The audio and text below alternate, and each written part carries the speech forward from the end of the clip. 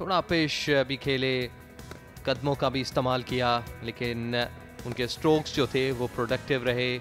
किस्मत ने भी उनका साथ दिया स्पिन पेस तमाम तर बॉलर्स को साथ नसीब ने अच्छा खेला और जो right underneath of the bat या मिडल ऑफ़ द बैट जो अपने स्ट्रोक्स के लिए डिक्टेट किया।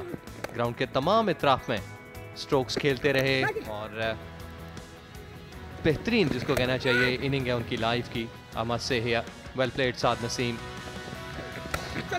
बात ये है वो लम्हा, जब थ्री फिगर्स में वो पहुँचे अपनी आठवीं सेंचुरी मुकम्मल की इस फ़र्स्ट क्लास कैरियर की गद्दाफी स्टेडियम लाहौर में, जो उनके लिए यादगार रहेगी।